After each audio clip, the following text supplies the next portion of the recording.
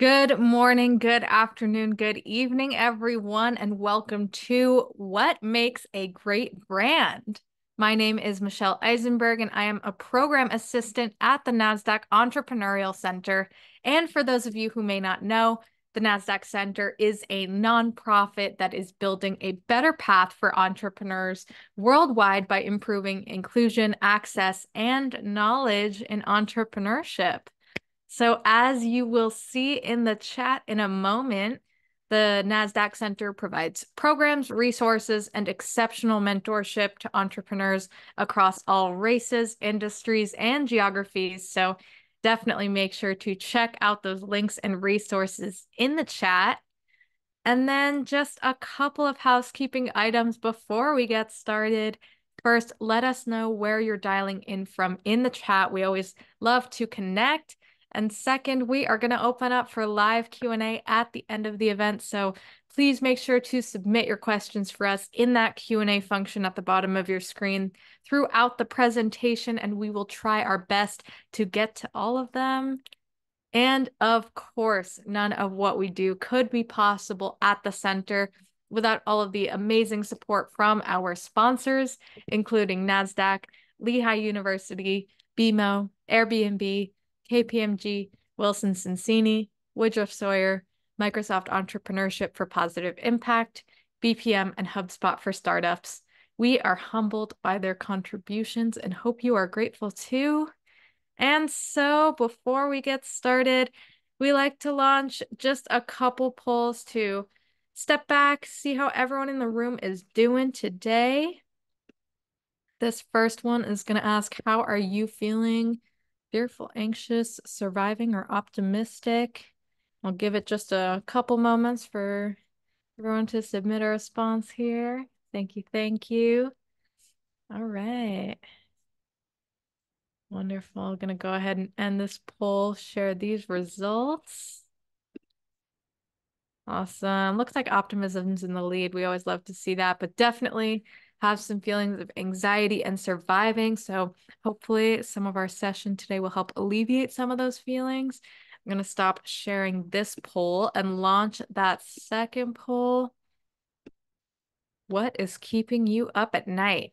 Finance, sales, marketing, scale, pivot, team, or surviving?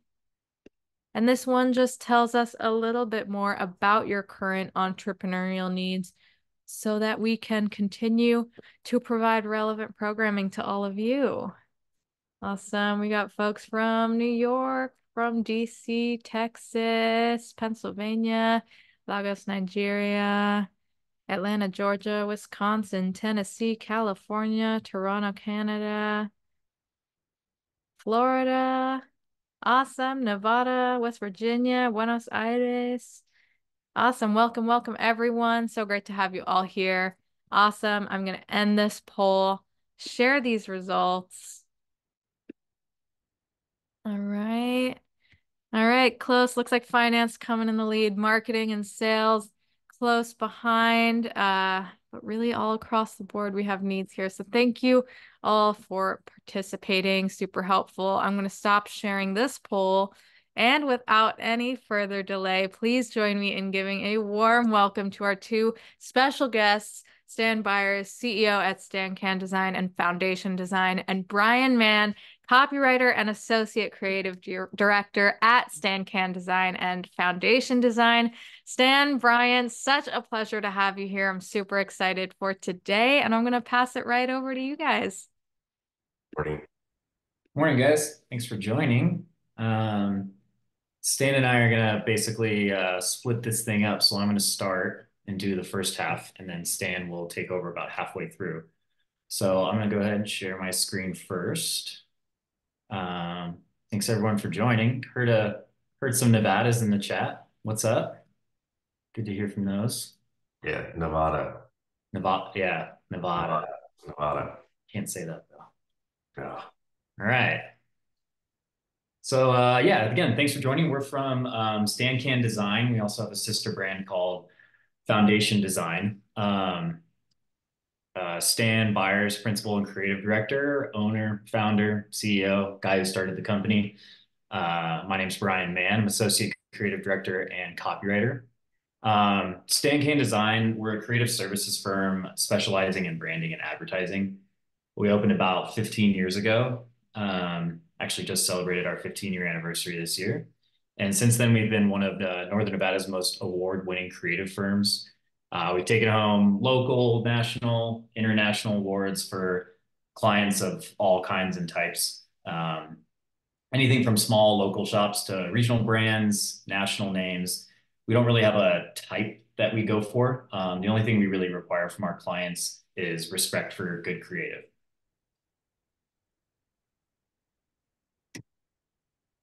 Um, today, we're presenting what makes a great brand. So essentially what we're going to do is we're going to dive into all of the elements that make a brand great, uh, the thinking behind them and the crucial components that help build them. Uh, we'll also discuss why great brands start well before a logo is ever designed. And uh, this is mostly just like kind of just educational. We're not really going to be uncovering any new ideas. And this isn't going to be on like the TED Talk website anytime soon. Um, we don't really give this talk to other designers or other people in the advertising industry.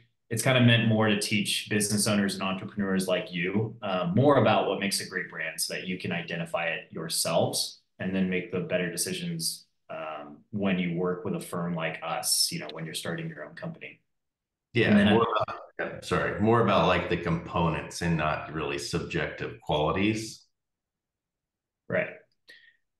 Um, and then at the end, we'll be uh, happy to take any questions if there's time. We should have we should have at least ten minutes or so. Yeah.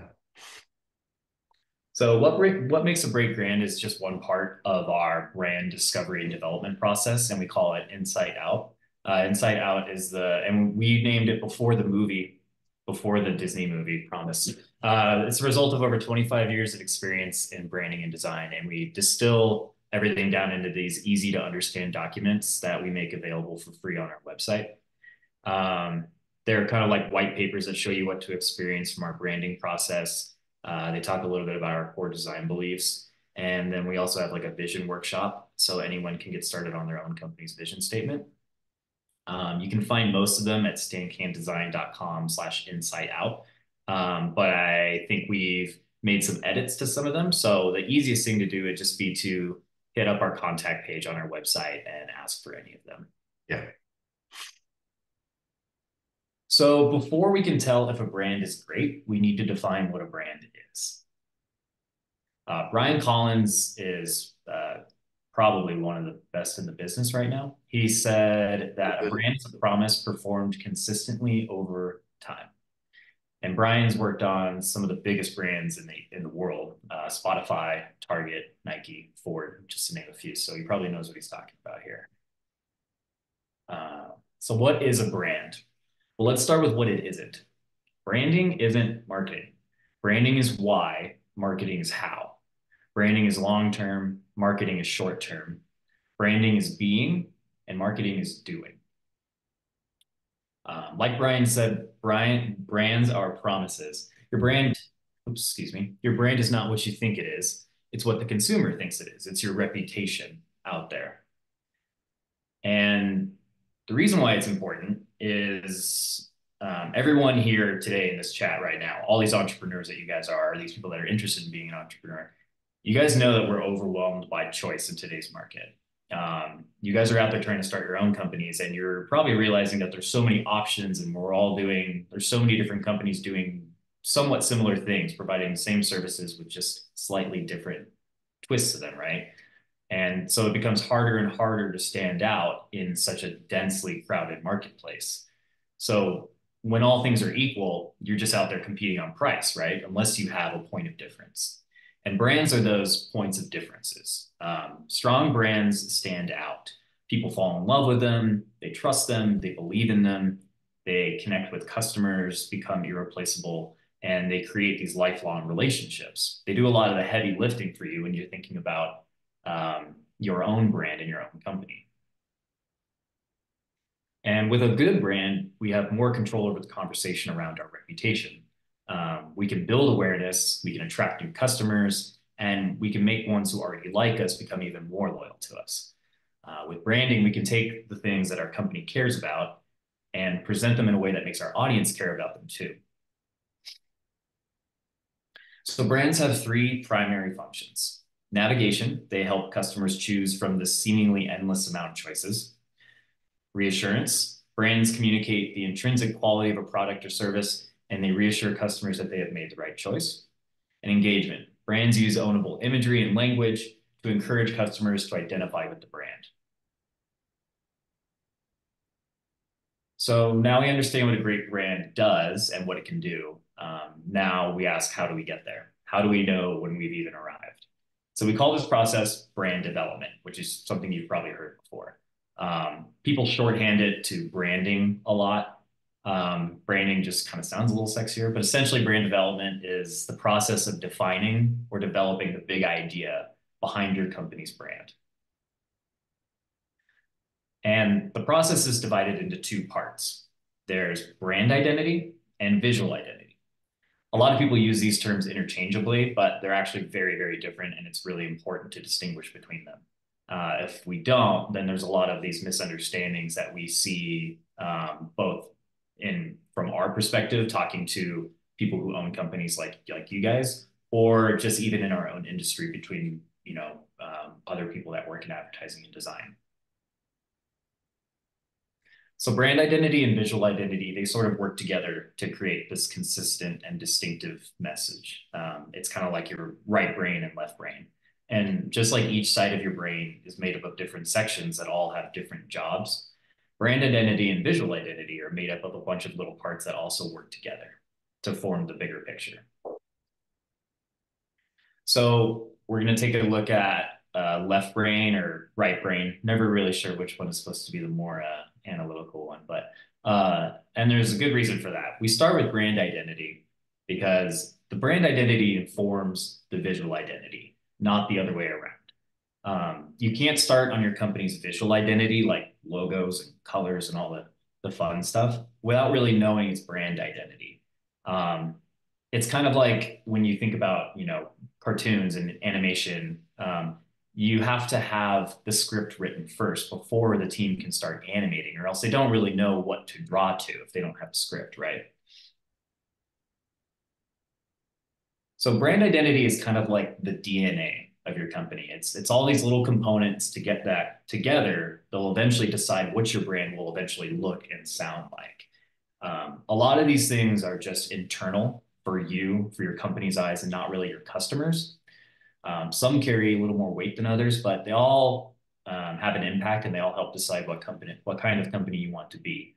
So we're going to define them and then help you understand what sort of impact they do have on your overall brand. And when we work with a company, almost every single time, almost 100% of all clients, the first thing we do is uh, figure out what their brand pillars are. And no matter what size company you are, brand pillars are an essential part of a solid brand. And they're, um, even if you're a one person company, you stand to benefit from de defining your brand pillars. Um, brand pillars are these individual words that represent the core values and characteristics that are most important to your company. Your brand pillars are these foundational principles that your brand sort of stands, stands on, like a pillar. Um, and we typically define five to six and then use them as a guide for the rest of the process going forward. So here's a little bit of an example how we did it, um, do it. One Studio is a client of ours. They're a um, architecture and interior design firm here in town. They're probably the best guys in Northern Nevada doing it. This is being um, recorded, Brian. Yeah, well, hopefully they're watching. Um, so we, after a long process of a lot of interviews, we um, we decided that One Studio believes in connection, collaboration, unity, creativity, integrity, and community. And then what we do is we, you know, write a little bit of a backup um, paragraph to sort of um, expand on that and kind of complete the bigger picture. Um, if you guys want, you guys can take uh, screenshots of this slide right here and, and do this on your own. Um, even if you don't feel like you're very good at it, it's great to even have some of this stuff going into a meeting with an agency that you start working with and just kind of you know, trim a little bit of that fat and sort of get the get the conversation rolling. Give you guys an extra five seconds or so to take a screenshot if you want. Brian, we have this. We the Insight Out papers are available on the website. The development yep. shop, they can get it there. Yep. All right, and then next up, vision. This is probably something you've heard before. Everyone's probably heard of a vision statement, but not everyone's really great at defining it or doing it correctly. So your company's vision should be the ideal future result of your business. It's where you want to see yourself in five years, maybe even 10. And it should always aim super high. Um, there's already plenty of companies out there that are just going through the motions. Um, so why decide to be one of them? right? Aim high and design a brand around these lofty aspirations, and you're bound to get something special wherever you land. Mm-hmm. Uh, there's kind of this formula to it. You can always begin with a verb that describes the change you want to make, and then you add a clause that addresses the future impact that your business will have. And that should put you with a pretty decent vision statement. So going back to One Studio, um, we sort of we sort of split theirs up. They they sort of had these two different um, very important like sort of um, mentalities, causes that they wanted to get towards. So um, yeah, we found that connecting people and places uh, of any and every kind was paramount to their vision. And then next up, uh, another one you've all probably heard of is a mission statement. And the mission statement and the vision statement are directly related. So with the vision statement, we define what the ideal future result of our business is, right? And with the mission statement, you're going to define the steps that your business takes every single day to get closer to that vision. Um, it's also why you can call it your statement of purpose. So again, for One Studio, to get to that that future where people are connected to places better and to that future where they create better spaces that serve them, um, they believe that they must maintain the belief that combining architecture and interior design is greater than the sum of its parts and that their quest for the why behind every project will ultimately build those environments that take them there. Um, we put this together a while back. It's really helpful for us in uh, meetings too. It just sort of features a blend of vision and mission statements from big companies you might know, medium companies you might not, and then some brands that we developed ourselves. Um, and then if you want, um, to help you guys figure that out. You can you can sort of take a screenshot of this and then kind of define and maybe read them and, and try to figure out whether they're a vision or a mission statement, whether they're a future result or a this is what we do every day kind of thing. Uh, so next up is a brand essence. And this one kind of gets, it's not super common for the average person to know, but it's probably one of the most important ones you can consider. Um, your brand can have all these different parts, right? Vision statements, mission statements, brand pillars, positioning statements, so on and so forth. But the brand essence is like, let's take every single thing and how can we distill everything into the simplest phrase about our brand? Like, how can we, how do we communicate the soul of our brand in as few of words as possible? Five or less, two to three is good. You know, one can be powerful, but it's, you know, again, one word can't always be super unique to a brand, right? So here, again, there's some that we've done and some that you might recognize. Uh, one studio DNA, that architecture firm connection is the most important thing of their brand. Starbucks um, at one point was rewarding everyday moments. Uh, Western Turf, another uh, client of ours, they sell uh, sod, hardscapes, pavers, rock, basically everything that um, everything that you could use in your yard. And they also have their own sod farm outside of the city. So for them, it's respect for the land. Um, BMW, driving pleasure. Nike, authentic athletic performance. And when we sort of presented to a client, we kind of added as a page in their overall larger brand guidelines. Um, so for Armando and Sons, we were able to distill it down into this one powerful uni unifying word, and that's respect. They have this long history of butchers, like going back all the way to the early 1900s, you know, that they that they carry on. Um, and then we write a, a reasoning for that. Um, and then that paragraph of copy that you see here, that can be used for website copy. It can be used for um, marketing, advertising, things like that. It kind of creates more content that you can use down the road to communicate your brand to people. Uh, so next up is a positioning statement, another one that you've all probably heard before. Um, a positioning statement is a, is a single sentence and it defines your audience, your market, your brand promise, and your evidence to back up your brand promise, like all at once. Um, it's a it's all about establishing these key aspects before taking your brand to market. Um, and we usually write ours using the same template every time. So you might want to take a screenshot of this next phrase, this next one too. Um, it ends up being probably one of the most awkward long sentences you'll write about your brand. And that's what makes it so internal. Um, but you're going to define your audience, your brand, your market, your brand promise, and your evidence all in one sentence. And what it looks like when you're done is, you know, this is probably one of the best ones you could ever imagine for Disney World. Um, for the young and young at heart, Walt Disney World is the theme park that best delivers on an immersive and magical experience because Walt Disney World and only Walt Disney World connects you to the characters and worlds you most desire. And it's that specific language, Walt Disney World and only Walt Disney World, that makes it such a good positioning statement because that your positioning should be the exact thing that makes you different. It's like my company and only my company does blank. Um, so next we have voice and tone for your brand. Um, this is an internal document, but it is something that has external effects. Um, oops, sorry guys, went backwards. Forward here.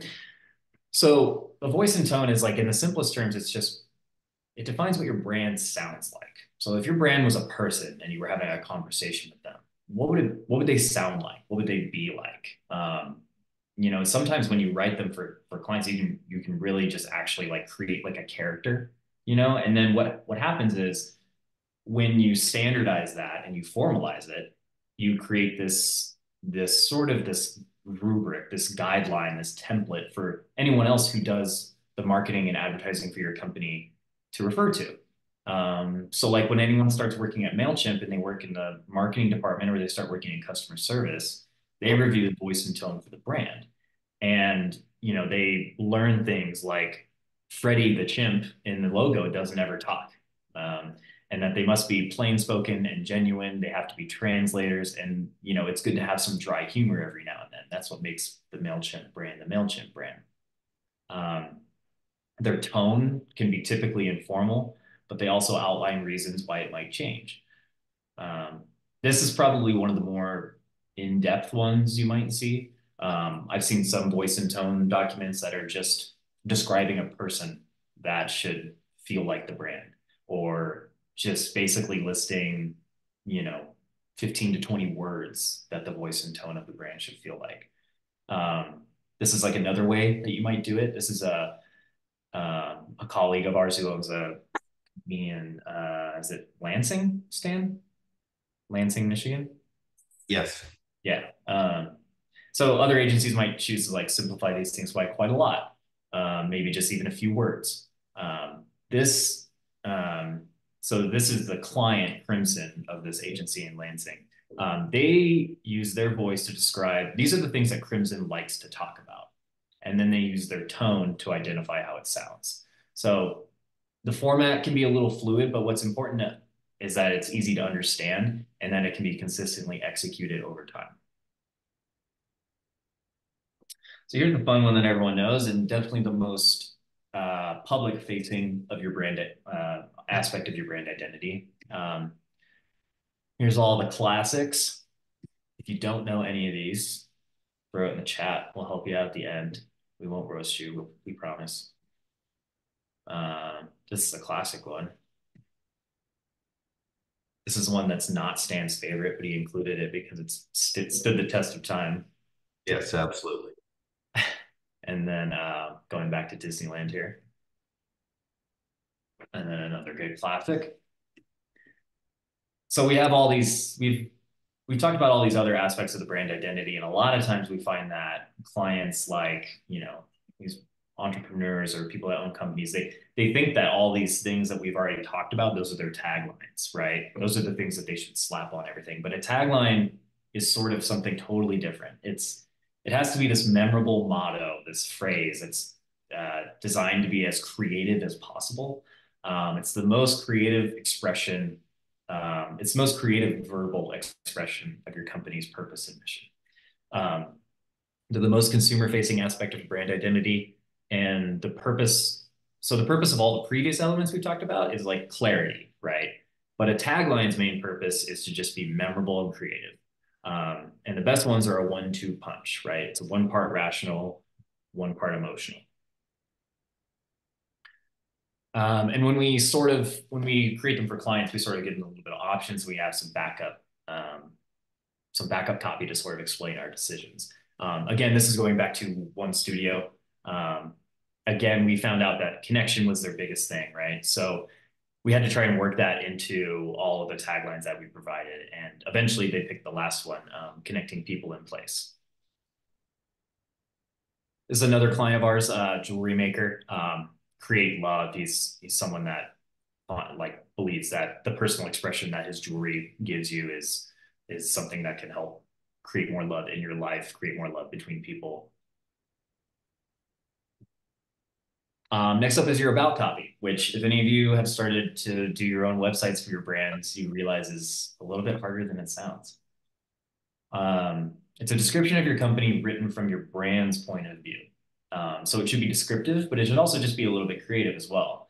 Um, some of these brand elements we've already talked about should make their way into your brand's copy, brand's about copy. So like when we talked about the brand essence earlier, we had that whole paragraph there. Some of those sentences and some of those uh, ideas should probably make their way into your about copy to communicate your brand that way. Um, it's a chance to tell people what you do, who you do it for, but also what makes you different. So client of ours who creates uh, these structural walls that help construction companies work without disturbing the business that they're working in. Um, your progress is our purpose. Dexter Containment provides leading West Coast companies and contractors with temporary containment solutions that provide unmatched protection from progress and eliminate the disruption of innovation. Uh, we tried to work a lot of like empowering business um, talk into this into this brand because essentially that's what their product does. It empowers companies to continue operating while they can also keep improving and not have to stop business operations. Um, boilerplate. This is easily the most ugliest uh, word when it comes to brand identity, but it's also really important. Um, you might not have any idea what it is, but I know you've read one before.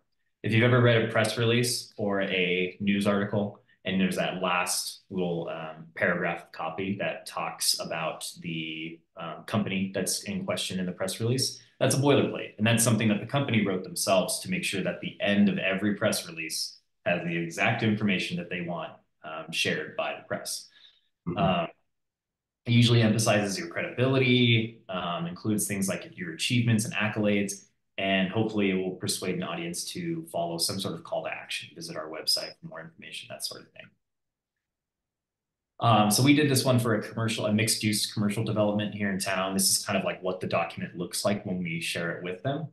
Um, again, last cop, last paragraph of company's press release it shouldn't be super creative. It should be very journalistic. You know, um, you don't want you don't want to be uh, trying to get the press to uh, to beat their chests about your brand. You know that you want them to pick up your story and and you want it to be both good for the publication and good for you. And then it comes down to formal naming. And this is actually something that we actually have to work with clients on. You, you might think like, oh yeah, I know my name. Um, but it's actually really important to outline it in a formal document, especially with the more employees you get, the more um, you know vendors and clients that you might work for. Um, otherwise, like something kind of silly like this might happen. Kind of grumpy today, dude. I didn't get a lot of sleep last night. Just having those dreams again. You know how just me in a castle. I got to fight like a thousand wizards. The only way to beat them is to punch them as hard as I can in their faces. Then I'm done. All their little wizard wives came out, wanted me just to have sex with them, which is kind of weird. Look at this, huh? Hey, everybody. Got some awesome news. We have a new crew member today, Denise. Hi, everyone. So I thought it'd be fun if we all went around and said our name and a little something about ourselves. I'll start. My name is Rod, and I like to party. All right, Dave, you're up. Uh, hi, uh, my name is Dave, and uh, I like to party. Uh, no, Dave, I just said that I party, so maybe do something different for me. My name is Dave, and I am the stunt man. You know what? Let's move on. Rico, you're up. Uh, hello, I'm Rico, and I like to party. Yeah. Uh, Rico, what did I just say to Dave? Who? Dave. I like to party. I'm Rod. no, you're Kevin. Right. Kevin. I party. No, no, you don't. Okay, nobody parties but me. Yes, and we party. No. Yeah, just Rod. Yes. And me. No. I'm the only one parties. I'm pretty sure I've partied before. No, Kevin, I know for a fact you don't party, okay? You do not party. You're right. Dave's a party guy. Oh my God, shut up, okay? I'm just gonna do it for you. Denise, this is the crew. Dave's the mechanic. Rico makes the ramps. And Kevin is team manager slash videographer. None of them party, right? Got it? Okay. Let's party. So obviously, very extreme and silly version of that. But uh, we find this a lot with a lot of the cl- clients we work with. Um, people start shorthanding the name. They start pronouncing it differently. They start creating acronyms out of it when no one should be creating an acronym out of it, right? Like, um, you know, we're in northern northern Nevada. We're close to the mountains, so we have a lot of companies that have Sierra in the name, right? So like, what if what if there's a company named Associated Sierra Systems, right? And people just started going off and just using an acronym, right? So they started calling them Associated Systems or Sierra Systems, or they abbreviated it to ASS, right? You don't want stuff like that to get out of control, and you want to control that conversation about how your name should be said. Ooh, excuse me, sorry guys. I don't know where my fingers are. Keep watching again. Every time, yeah, I guess so. Um, so again, this is sort of what it looks like when we present to a client. Um, we talk about what it, how it should be written, and we get very, very detailed. Uh, we talk about how it should be spoken, how it should be pronounced, all the ways you should do it, all the ways you should not do it. Um, and this client, Armando and Sons, you would you wouldn't be you would be shocked at how many people wanted to just say a word like Armando, which seems I don't know, it's Italian, but it seems pretty straightforward.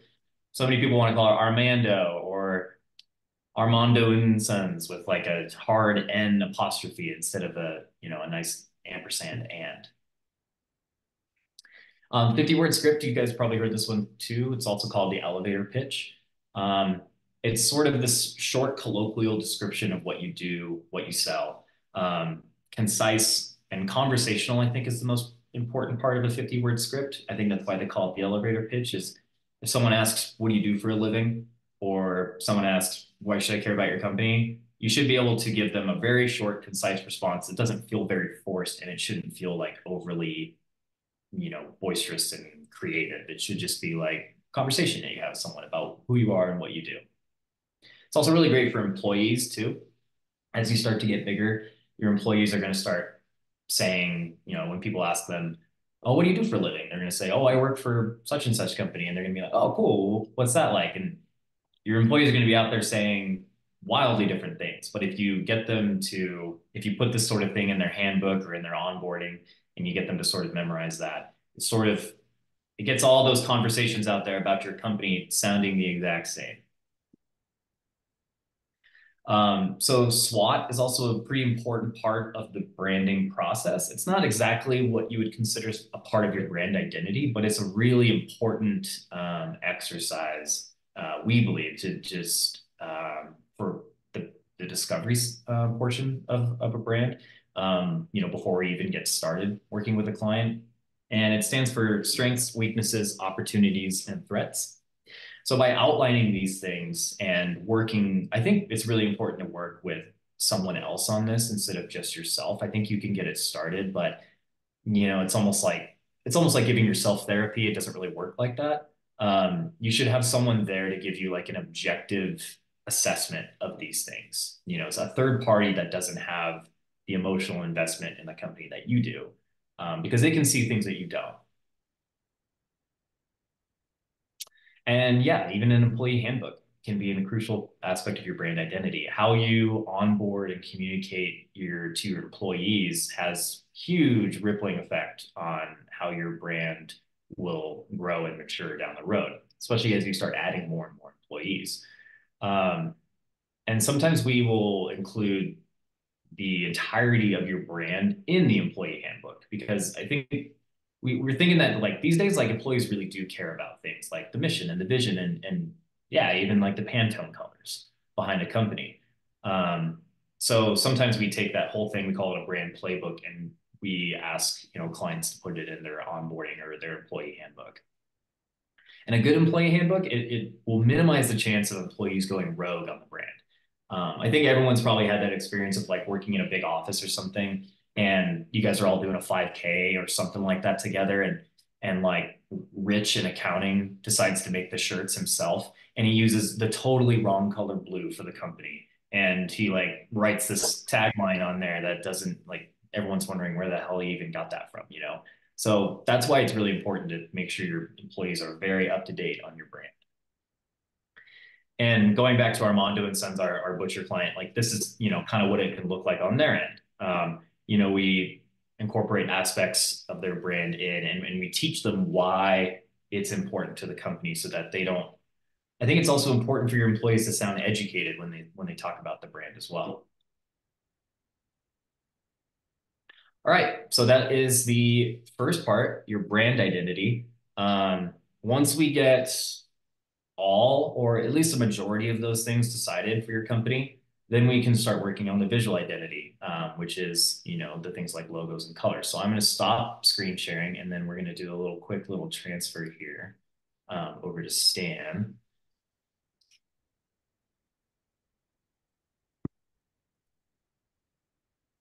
Right. Oh, okay. Thanks, Brian. That first part was was awesome. Thank you. But uh, yeah, give it a second here. All right. So now that we've gotten all that done, your company can finally move on to the second portion of a great brand, uh, the visual identity. The visual identity comprises of every element of the brand that can be represented visually. You spend all your time in brand identity, brand identity, defining what you stand for, what makes you special, and now you're ready to convey it to your audience in an engaging way. Oops, why is this working? Sorry, guys. In Greek philosophy, logos refers to a divine power that creates order in a world of chaos, of how ideas are communicated and brought to life.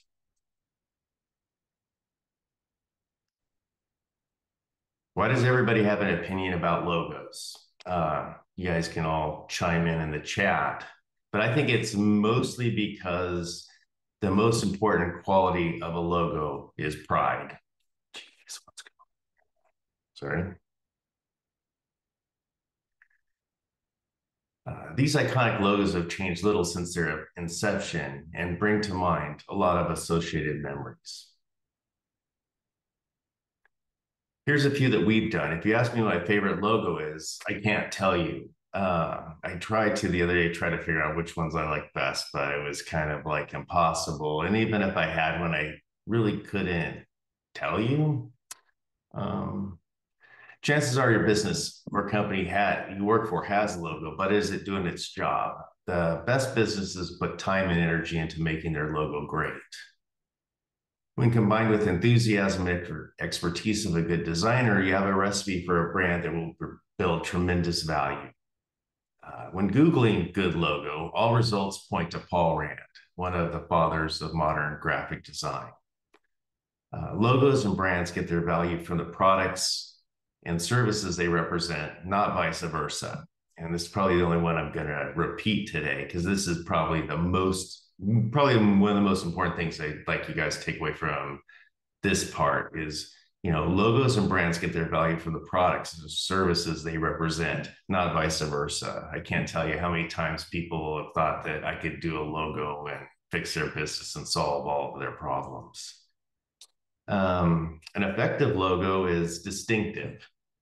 The, the point of difference or distinction is lost when you imitate another business or design. If it's distinctive, it probably should make you a little uncomfortable because the frame of reference is new or unique, uh, visible. When given the proper amount of space, does your logo ask the audience to take note? Does it have impact or gravity? usable. Is the logo easy to use? Generally, the more visually complex the logo, the harder it is to use. Uh, memorable. Was there something a little special about the visual? Does it reward the viewer with an unexpected twist or point to timeless qualities? Uh, universal. Is a is a logo understandable? Will your logo appeal to young and old, to men and women? Durable. Does it work well large? Does it work well small? Does it work in color, black and white? Is it timeless? Is this logo trendy or timeless? Paul Rand designed the ABC logo in 1961 and it's remained virtually unchanged for 50 years.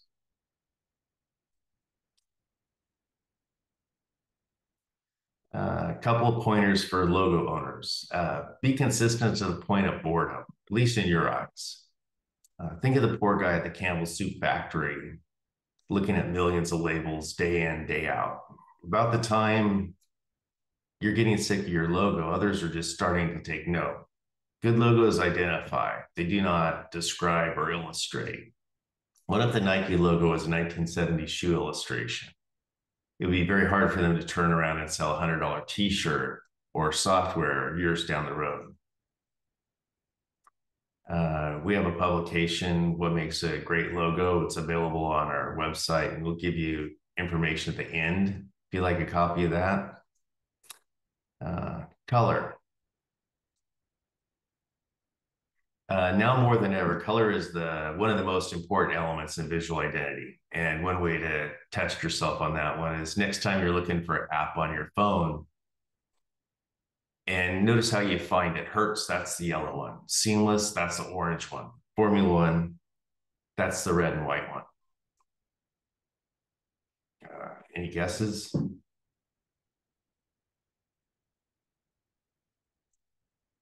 Uh, can you imagine Tiffany in any other color?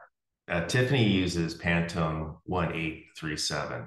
We were recently in like Chicago and uh, we noticed one of their stores and the awnings out front were the color was faded and I was so I was like so disappointed because the colors in the awning was faded.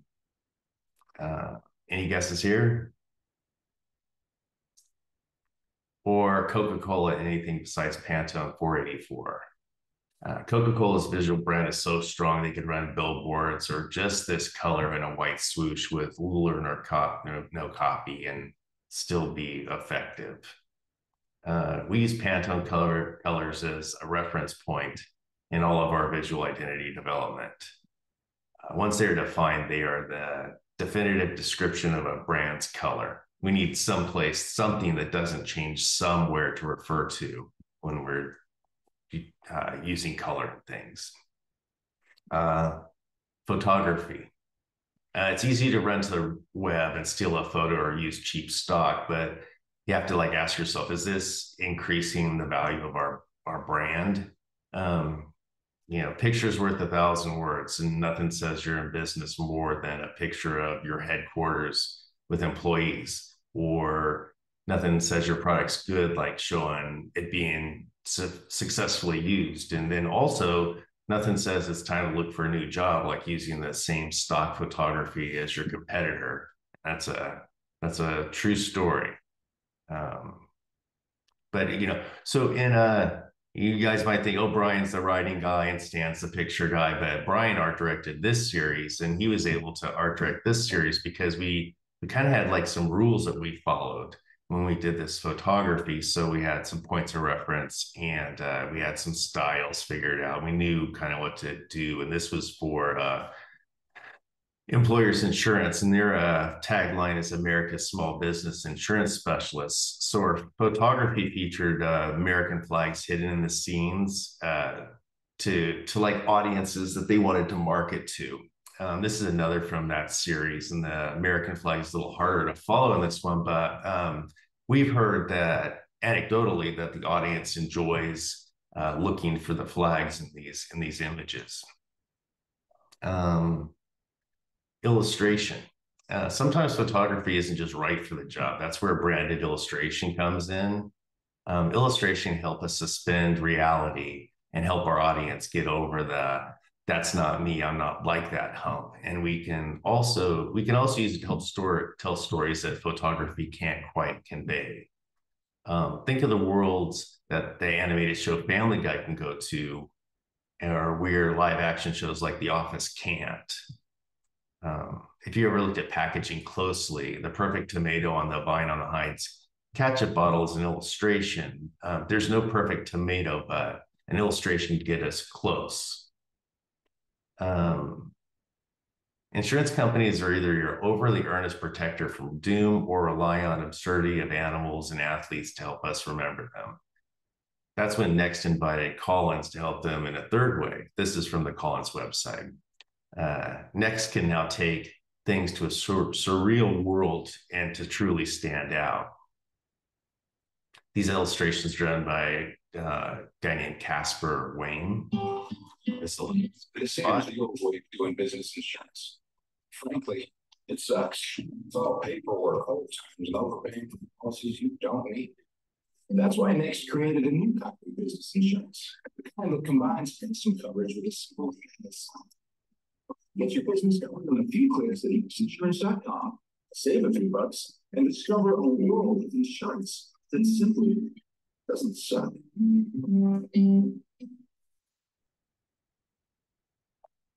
Oops. Uh, Robin Robinhood claims their brand is about a new future possible through financial freedom. We've all seen the handsome 40 year old man in the upper middle class lifestyle. He's there because he invested. Uh, so Robinhood chose to take a different path and they used illustration to convey um, a lot of their messaging. And then also another really strong one is uh, Salesforce took uh, a heartless CRM and created a whole new world where a Funko Pop doll looking character in a onesie uh, joins marketers and ROI in the Garden of Eden. That, uh, you know, when you describe the concept, it sounds silly, but you can't deny all these interactions leave a smile on your face and a definitely indelible impression. Yeah, this is for CRM, client relation management software. Um, all right, next typography. Um, uh, you might think of typography as a dark art wielding its magic power with serifs and spurs and terminals, but its application is more down to earth nowadays. And probably all of you even have a favorite font. But nothing can expand your brand further than typography. Uh, imagine every word someone reads points back to your brand. Uh, when Ken Carbone rebranded the Louvre in in France in the 1980s. His first job, his first order was to pick one typeface and used it on everything. Um, they used ITC Garamond. Uh, it worked and it's it's still working. Uh, words have meaning, type has spirit, and the combination is spectacular. This is uh, Paula Scher. Uh, Paula Scher is one of the most influential graphic designers in the world. She's developed design systems for Microsoft, at Disney, to the Museum of Modern Art, to Adobe. Um, if you're old enough to remember, she designed the Boston album covers. If you're hope you're not that old. Well, if you're that old, I hope you're enjoying it like I am. i guess I think I'm enjoying being old. Um, M&M's new rebrand is a lesson in the power of type. They're extending the M and creating a visual language from one recognizable piece of type. Uh, when your product is M&M's, it probably makes sense to love letters. You can't deny it's part of their brand. Uh, for this event, we created a typeface from scratch that represented the theme, adapt. Uh, we designed the typeface so it could adapt to any amount of space given to it. We, uh, we made slides for the event and all the promotions using the adapt typeface, and it was the main visual for pretty much everything. Um, this is a speaker slide, ideas without action or fantasy. Um, it's kind of hard to read, but that's sort of the point. People are sitting there, they got a lot of time to look at it in between speakers. Um, and there's another uh, speaker slide. It's like this now. Uh, we're able, we're even able to turn our custom typeface into trophies for our presenters. Okay, design systems. Uh, a design system is a set of interconnected patterns and shared practices coherently organized. Think of them as all the other visual elements besides the logo that still fit within the brand. That Coca Cola white swoosh we just mentioned, for example, is part of their design system. Other parts of the design system can be patterns, logo variations, icon styles, branding graphics, illustration styles, photography stylings, and extra guidelines for how to make more of those things. Here's a sampling of the Girl Scouts design system. Uh, we don't have a picture of the new cookie box, but you can imagine what that would look like if you see those other parts. It would it would fit into that. Uh, we did this rebrand for KUNR. Uh, the world had changed and they needed to stop thinking of themselves as a radio station. They're a new media distribution center. Um, the crux of, crux of the system is putting the U, the YOU in the KUNR. We use the U as a conduit for information. We'll see a couple other pieces of this later on too. Um, a design system can also be entirely digital. Material design is the base for all Google products. Um, assets are frequently distributed by GitHub.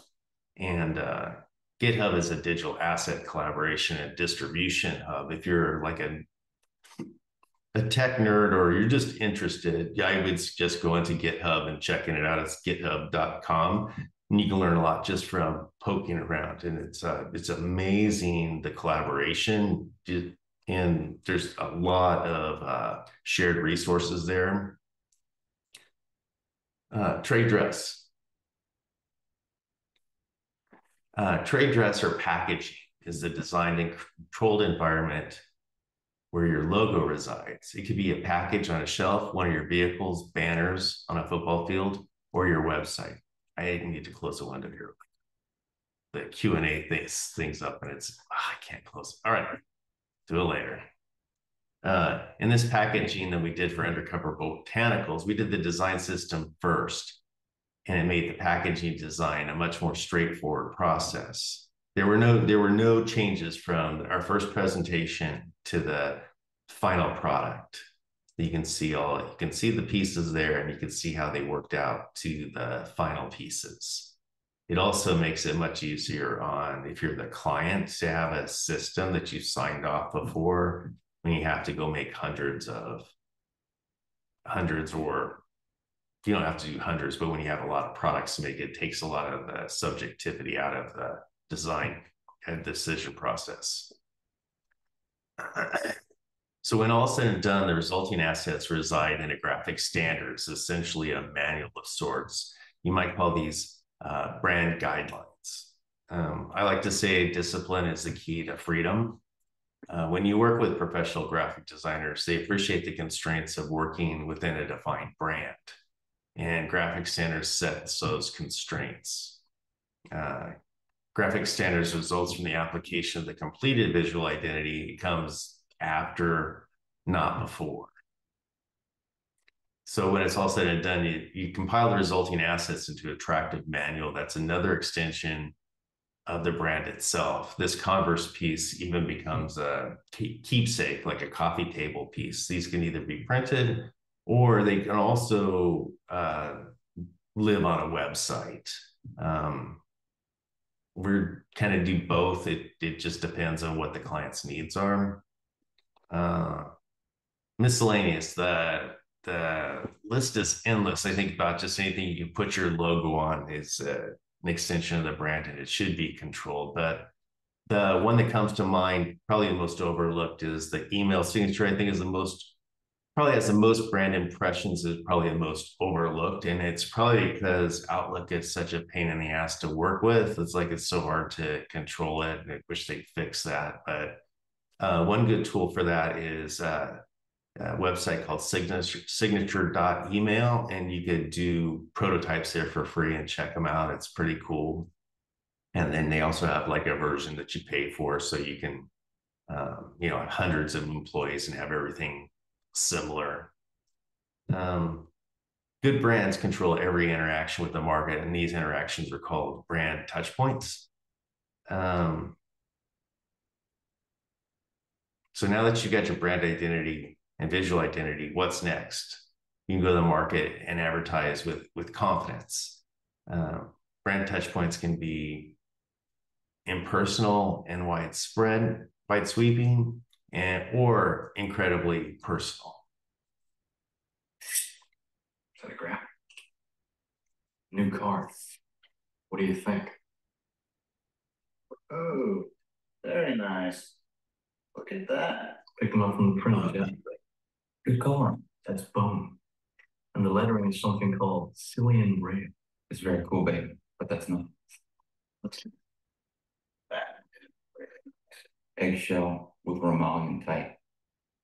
What do you think? Nice.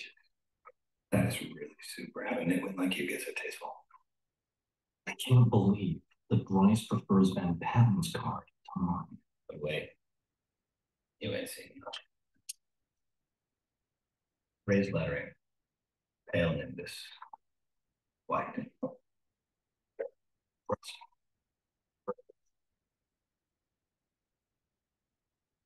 Allen's go.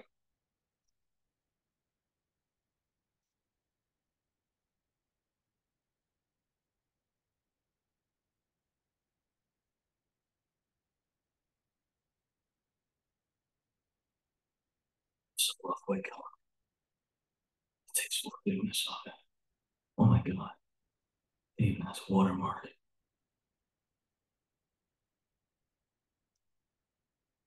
Wrong? Sweating.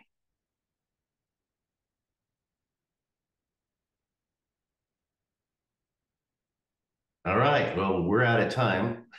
So I will uh, turn this back over to our uh, our hosts. If I could, they just take let's see how many seconds. I, you know, I'd like to thank uh, Ira Gostin uh, introduced us to Anna Michelle, and I'd like to thank him for making that introduction. For and um, I'd also like to. Um, part of the reason we're on this path as a studio is we hired uh, David C. Baker a few years back to help us with uh, kind of seeing ourselves a little differently. He did some brand consulting for us. So uh, he has written the book, The Business of Expertise. And I he also has a podcast with um, that I very much recommend um, called Two Bob. So David C. Baker, The Business of Expertise is really uh, helped us quite a bit and kind of put us on this path. And this is one of the one of the things he asked us to do is to codify some of our practices. So that's you guys are you guys our audience is part of our success here, helping us uh, clarify our thinking and, and codifying things. So uh, thank you for thank you for your time today. Um, yeah, and I oh, and you know a lot of this thinking uh, is come from there's a lady recently passed away Alina Wheeler. She recently passed away. She wrote the the textbook uh, designing brand identity. And if you want to know a little bit more about branding just generally i would suggest going to amazon and purchasing her book. So that's it Awesome. Stan, Brian, thank you both so much. That was such an incredible overview. Um, if you each just quickly had like a key takeaway that you would like to leave with the audience or like a piece of wisdom that you carry with you, what would that be? Maybe we start with Brian. Um, I guess speaking to the uh, the audience here, you guys are all entrepreneurs or you're interested in becoming entrepreneurs and you're thinking of starting businesses. Um, I I would just I would just say that a lot of times we get into what we do and and you guys are going to be experts at whatever the company you're starting is, right? And we're here today because we consider ourselves experts in brand development, design, advertising, things like that. And when you're building out this company or this idea that you have, and you're relying on experts to do what they do best, um, my advice is to rely on those experts. Um, trust them, trust their opinions, trust when you know they want to zig when you want to zag. Um, because you know when we suggest something to a client, it's coming from you know Stan's been designing graphic design. He's been doing graphic design since graphic design was invented, right? And we still have um, we still have clients who have their entire expertise in one idea and field, and they need our help with, with the brand identity part. And we still have people who want to um, fight back on design choices and things like that. And um, just know that if you are relying on an expert for expert opinions, you should give them, you should be a good, like what we kind of call a good client. Be a good client, you know, um, put some good, put some trust into those people if you, if you don't want to um, spend all that time doing branding and design. Um, put that trust in designers and brand developers. Yes, love that. Awesome. How about you, Stan? Um, I don't know. I'd probably buy the Alina, uh, Lina Wheeler textbook, and then there's also uh, yeah, that's what that's where I would probably even if if I was a client, I would buy that textbook and use that as like a a, a guide for how to work with your with your agency, and uh, you know, and uh, I think the other thing is uh, don't be cheap. And I don't mean money wise. I that you know time and effort is just as valuable as yeah, but you know be focused. And yeah, I think that's I I we covered so much today, and it's it started this I started to slog off at the end, but you know again the your brand and your logo get its value from the products and services they represent, not the other way around. We can't design a logo to to fix your problems. I think that's probably that's probably the most important thing. Love oh, it. I, I lied. The most important thing is logos are instruments of pride. That's the most important thing. Remembering that they're instruments of pride. Amazing. Stan, Brian, thank you both so much on behalf of the NASDAQ Entrepreneurial Center and everyone here today. Uh, we're just so, so grateful that you joined us. Um, and to our audience, we'd love for you to join us again for upcoming webinars, which you can view using that link that's going to be posted in the chat. And we look forward to welcoming you back online with us soon. Bye bye.